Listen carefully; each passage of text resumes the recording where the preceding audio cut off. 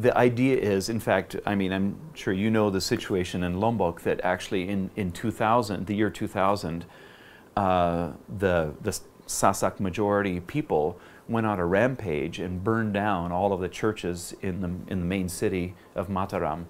And since that time, it's been very difficult for the churches to have uh, any kind of a, a sense of uh, empowerment about their role and calling to, to reach out to their Muslim brothers and sisters. And uh, there's, because there's a lot of fear associated with it. So here we have a context in which the church has been victimized. Because of their faith in Christ, they were attacked and persecuted. And they have come out of that experience very wounded and feeling like victims themselves.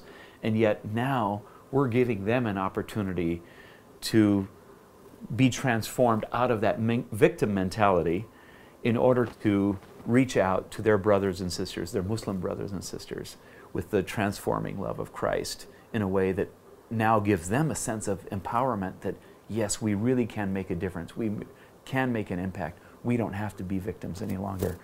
And in the same way, the Muslim communities that we're working with, we're overcoming those same, the same dynamic is at work. We're overcoming the same kind of barriers, helping them to move from victims of the natural disasters or the circumstances around them. They don't have to be victims any longer. By planning and working together and creating strategies that will anticipate and deal with those natural disasters in the future, we're creating a pathway from moving from victim to empowered.